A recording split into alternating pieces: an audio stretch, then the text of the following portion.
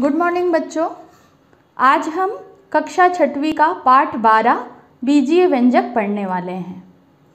बच्चों, बीजीय व्यंजक को जब हम पढ़ेंगे, तब सबसे अधिक बार जो हम सुनेंगे शब्द वो है चर और अचर संख्या। तो आइए सबसे पहले हम जान लेते हैं कि चर और अचर संख्या होती क्या है। यहाँ पर बच्चों आपको एक रस्सी दिखाई दे रही होगी, जिसकी लंबाई हमें पता नहीं है। इस रस्सी को हम चार बराबर फोल्ड करके यदि इस वर्गाकार डिब्बे के चारों तरफ़ लपेट दें तो लपेटने के पश्चात इतनी रस्सी शेष बच जा रही है। बच्चों, जब इस शेष भाग को मैंने स्केल से नापा तो इसकी लंबाई 14 सेंटीमीटर मुझे प्राप्त हुई। अब बच्चों, यहाँ पर जो शेष रस्सी की लंबाई है वह 14 सेंटीमीटर है, इसका जो मान है वो बच्चों निश्चित है। इसीलिए 14 को हम क्या कहेंगे बच्चों? अचर संख्या कहेंगे। इसके विपरीत बच्चों, यदि हम इस डिब्बे के जो भुजाएँ हैं, उसकी लंबाई को बच्चों, यदि हम L माने, क्योंकि हमें इसकी भुजा की माप नहीं पता है तो यदि बच्चों, हम इसे L मान ले तो चूँकि यहाँ पर चार भुजाएँ हैं तो इसका यदि हम, इस पूरी रस्सी का यदि हमें लंबाई ज्ञात करना है तो हम L को किससे गुणा करेंगे बच्चों? चार से गुणा करेंगे, क्योंकि इस वर्गाकार डिब्बे की चार भुजाएँ हैं और एक वर्ग में सारी भुजाएँ बराबर होती हैं। इस डिब्बे के चारों तरफ़ जो रस्सी है बच्चों, इसका जो नाप होगा वो चार गुणित एल यानी कि चार एल होगा। और इतनी शेष रस्सी की लंबाई हमें प्राप्त हुई थी चौदह सेंटीमीटर।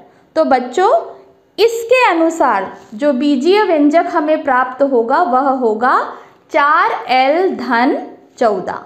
तो इस प्रकार से बच्चों, आपने देखा कि किस प्रकार से चौदह, जो कि एक अचर राशि है, और एल, जो कि एक चर राशि है। इन दोनों में ही संक्रियाओं का उपयोग करके हमने किस प्रकार से एक बीजीय व्यंजक का निर्माण किया है।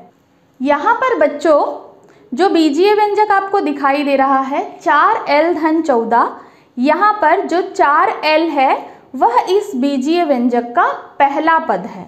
और जो धन के बाद आपको चौदह दिखाई दे रहा है, वह इस बीजीय व्यंजक का द्वितीय पद है। तो इस प्रकार से बच्चों बीजीय व्यंजक में बहुत सारे पद हमको प्राप्त हो सकते हैं। आइए हम इससे संबंधित एक और गतिविधि देखते हैं। मान लीजिए बच्चों, यहाँ पर आपको इस डिब्बे के अंदर बहुत सारी मोतियाँ दिखाई दे रही हैं। और मुझे भी नहीं पता कि इस डिब्बे के अंदर कितनी मोतियाँ हैं। तो मोतियों की जो संख्या है वो अज्ञात है। एक अज्ञात राशि है मोतियों की संख्या। इसे बच्चों हम बीजीय व्यंजक के अंतर्गत किसी भी अंग्रेज़ी के alphabet A, B, C, X, Y, Z या हिंदी वर्णमाला के किसी भी अक्षर से इसे दर्शा सकते हैं। मान लीजिए हम इसे इस डिब्बे में मोतियों की संख्या को x से दर्शाते हैं। मान लीजिए बच्चों, इस डिब्बे में मैं दो मोती दो मोती और जोड़ दूँ। दो मोती को यदि इस डिब्बे में मैं और जोड़ दूँ तो अब जो बीजीय व्यंजक है, वह बन जाएगा x धन दो। इसी प्रकार बच्चों, यदि इस डिब्बे से मैं पाँच मोतियाँ निकाल लूँ। इस डिब्बे से यदि मैं पाँच मोतियाँ निकाल लूँ तो हमारा बीजीय व्यंजक अब क्या बन जाएगा बच्चों? X ऋण पाँच। इसी प्रकार बच्चों, यदि इस डिब्बे की मोतियों को मैं आधा कर दूँ, इस डिब्बे की मोतियों को यदि मैं आधा बाहर निकाल दूँ तो क्या हो जाएगा? मान लीजिए इसमें से आधे मोतियों को मैंने बाहर निकाल दिया। तो अब कौन सा बीजीय व्यंजक बन जाएगा? X भागित दो। यहाँ पर बच्चों हमने ये जो डिब्बा है, इसमें मोतियों की संख्या हमने x मानी थी। और मान लीजिए ऐसा ही एक और डिब्बा हम यहाँ पर साथ में इसके रखें। तो इसमें इन दोनों में मोतियों की जो संख्या होगी वो कितनी हो जाएगी बच्चों? X धन x, यानी कि दो एक्स बच्चों, जिस प्रकार से यहाँ पर मैंने मोतियों की सहायता से बीजीय व्यंजक की अवधारणा को आपको स्पष्ट किया, उसी प्रकार बच्चों, आप घर पर भी ऐसे ही चीज़ों के द्वारा, जैसे मटर, पत्तियाँ, लकड़ियाँ, पत्थर, ऐसे कई सारे उदाहरणों से आप भी बीजीय व्यंजक से संबंधित अवधारणाओं को घर पर ही बैठे खेल खेल कर स्पष्ट कर सकते हैं। तो बच्चों, आपने अभी अभी जो गतिविधियाँ देखी, उससे आपको क्या समझ में आया कि बीजीय व्यंजक क्या होते हैं? बच्चों, यदि हम चर और अचर राशि को धन, ऋण, गुणा और भाग के साथ एक साथ लिखते हैं तो हमें एक अलग प्रकार की संख्या प्राप्त होती है। और उसे ही हम बच्चों कहते हैं बीजीय व्यंजक। दूसरे शब्दों में यदि मैं बच्चों कहूँ तो जो चर राशि होती है, उसे ही हम गणित की भाषा में चरांक भी कहते हैं। और जो अचर राशि होती हैं, जैसे संख्याएँ, उन्हें हम बच्चों स्थिरांक कहते हैं। तो चरांक एवं स्थिरांक से बना हुआ व्यंजक ही बीजीय व्यंजक कहलाता है। तो बच्चों, यहाँ पर मैं आपको कुछ बीजीय व्यंजक बनाकर दिखाती हूँ अलग अलग संक्रियाओं से। मान लीजिए, चर राशि x है और अचर राशि 9 है।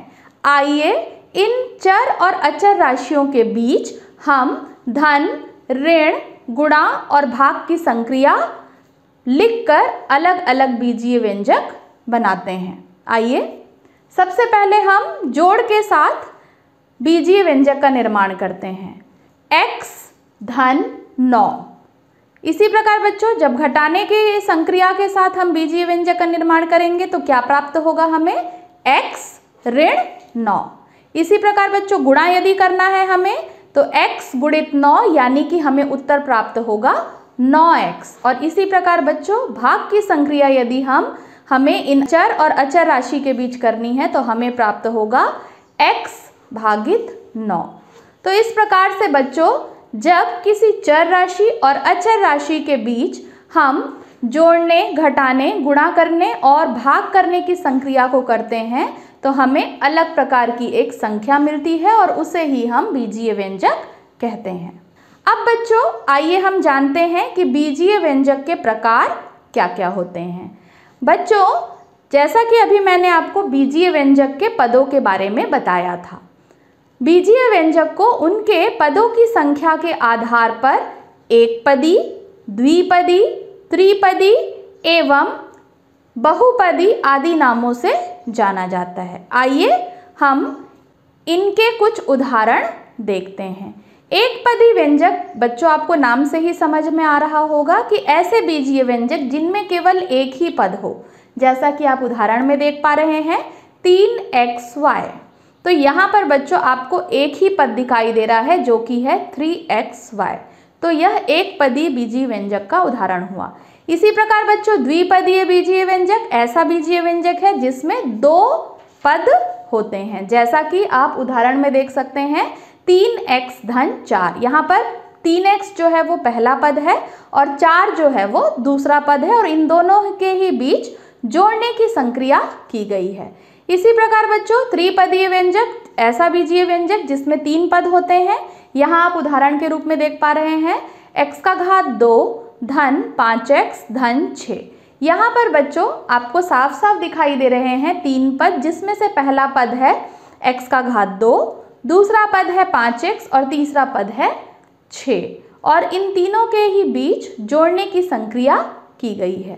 इसी प्रकार बच्चों, ऐसे बीजीय व्यंजक जिसमें पदों की जो संख्या है, वो या तो तीन हो या तीन से अधिक हो, उन्हें हम बच्चों बहुपदीय बीजीय व्यंजक भी कहते हैं, क्योंकि बहुपदी आपको नाम से ही स्पष्ट हो रहा होगा, बहु यानी बहुत सारे और पदी यानी पद। तो जिस भी बीजीय व्यंजक में बहुत सारे पद होते हैं, उन्हें हम बहुपदीय बीजीय व्यंजक भी कहते हैं। तो बच्चों, आइए बच्चों, हम ऐसे बीजीय व्यंजक यहाँ पर देखते हैं, जिनमें हम पदों की संख्या की जाँच यहाँ पर करेंगे। अब बच्चों, पदों की संख्या की जाँच यदि हमें करनी है तो उसका सबसे अच्छा तरीका है कि किसी भी बीजीय व्यंजक में अलग अलग चरांक एवं स्थिरांक के बीच जितने बार धन और ऋण का चिन्ह का उपयोग होता है, बीजीय व्यंजक में पदों की जो संख्या होती है, उससे एक अधिक होती है। पहले उदाहरण में जैसा आप देखिए बच्चों, तीन एक्स धन आठ। यहाँ पर बच्चों यदि जोड़ने की संक्रिया हम देखें कितनी बार हो रही है? एक बार। यानी इसमें पदों की जो संख्या होगी वो उससे एक अधिक होगी यानी एक धन एक यानी कि दो। इसी प्रकार बच्चों, द्वितीय उदाहरण में देखिए two X plus three X Y plus Z यहाँ पर बच्चों, यदि हम जोड़ने की संक्रिया देखें तो कितनी बार हो रही है? दो बार। यानी पदों की संख्या उससे एक अधिक बार होगी, यानी कि द्वितीय उदाहरण में पदों की संख्या कितनी होगी? तीन। इसी प्रकार बच्चों, आप तीसरा उदाहरण देखिए जो कि है आठ एक्स यहाँ पर बच्चों, आपको कोई भी संक्रिया होती हुई दिखाई दिखाई नहीं दे रही है। जैसे जोड़ने या घटाने की संक्रिया आपको यहाँ पर नहीं दिखाई दे रही है। यानी यहाँ पे संक्रिया कितनी हो रही है? शून्य। और यदि हम शून्य से एक अधिक को पदों की संख्या माने तो यहाँ पर कितने पद हैं बच्चों? एक पद। तो इस प्रकार से बच्चों, हम किसी भी बीजीय व्यंजक में पदों की संख्या गिन सकते हैं। आइए, अब हम बीजीय व्यंजक में पद कैसे कैसे होते हैं, यह जानते हैं। बीजीय व्यंजक में बच्चों दो प्रकार के पद होते हैं, एक होते हैं सजातीय पद और एक होते हैं विजातीय पद। आइए जानते हैं कि सजातीय और विजातीय पद में क्या अंतर है। ऐसे समस्त पद जिनमें चरांक या बीजांक वाला भाग समान होता है, सजातीय पद कहलाता है।